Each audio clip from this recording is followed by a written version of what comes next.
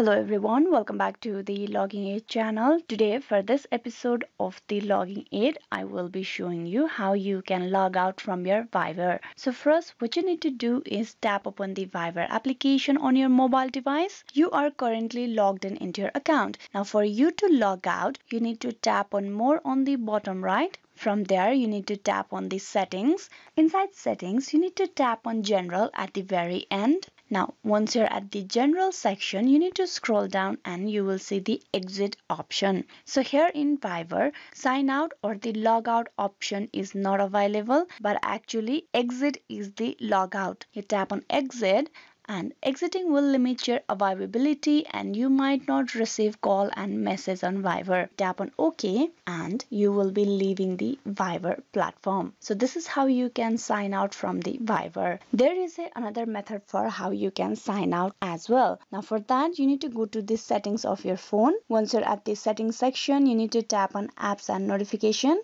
Inside apps and notification option, you go to the Viber settings section. Tap on Viber now inside Viber app information, you tap on storage and cache here to get logged out. What you can do here is you can just tap on clear storage and tap on OK now it will delete all the information of your Viber. Now if you go and check your Viber, you can see you have been logged out. So this is a, another process for how you can log out from Viber. Hope this video was useful. Please like and subscribe the Login Aid channel and also don't forget to click on bell icon for the notification and updates. Thank you.